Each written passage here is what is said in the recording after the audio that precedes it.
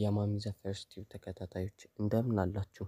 የዛሬው ትምህርታችን የሚሆነው greeting የሚል ነው ማለት ነው። greeting የምንለው ምንድን ነው? ሰዎች meet ስናደርግ የምንግባባበት መንገድ ናቸው ማለት ነው። so greeting ስንል ምን ማለታችን ነው?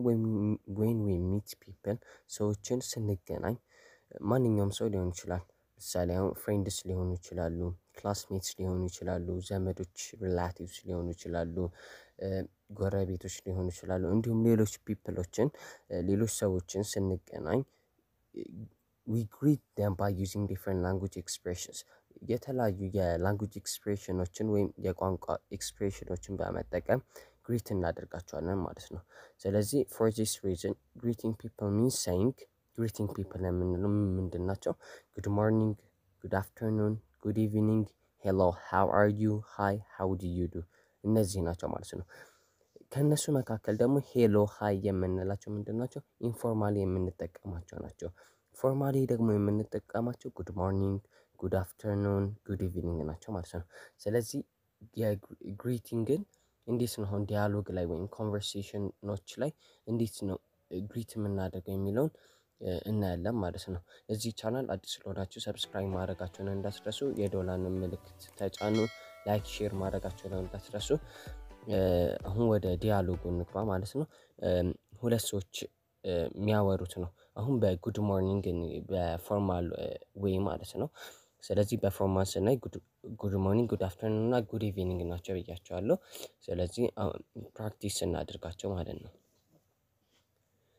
good morning ፋሲካና ትዝታ ናቸው።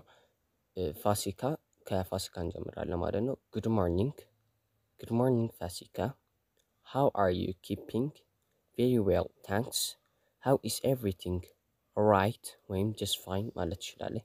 pleased to meet you pleased to meet you too ይሄ በ good morning ያየነው ማለት ነው። አሁን እስቲ በ good afternoon ወይም በ good evening እንይ ሀይሌና ታሪኩ ናቸው። እነዚህ ደግሞ ታሪኩ good afternoon ወይም good evening፣ ሀይሌ good afternoon or good evening ማለት ይችላል። fine thanks my name is ታሪኩ my name is ሀይሌ nice to meet you ሀይሌ nice to meet you too ታሪኩ how do you do ሀይሌ how do you do ታሪኩ ይህንን ይመስላል። አሁን ደግሞ በ informal way ደግሞ እነዚህ አጭር dialogue ናቸው። በ informal way ደግሞ እንይ። በ informal way ማለትም words like hi hello are informal greeting ways። ስለዚህ በ hi ወይም በ hello እንይ ማለት ነው።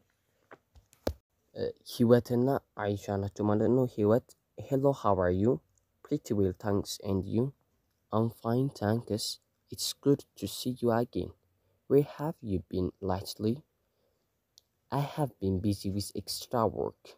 I have had a lot of work to do too. Yes, I haven't seen you for quite a while either.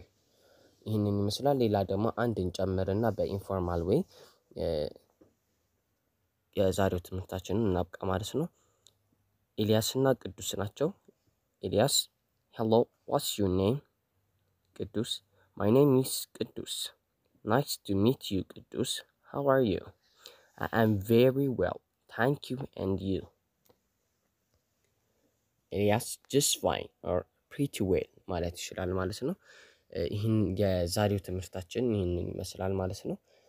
ሌሎች እንግሊዘኛችንን improve የሚያደርጉ ነገራቶችን ለማወቅ ይህንን ቻናል ተቀላቀሉ ማለት ነው። ሌሎች የምለቃቸው ቪዲዮዎችን እንዲደርሳችሁ የ notification አብሮ ማለት ነው። notification ኡን አብሮ ለጓደኞቻችሁም ይህንን ጠቃሚ መረጃ share ማድረጋችሁን እንዳትረሱ። like አድርጉ። السلام عليكم ورحمة الله وبركاته.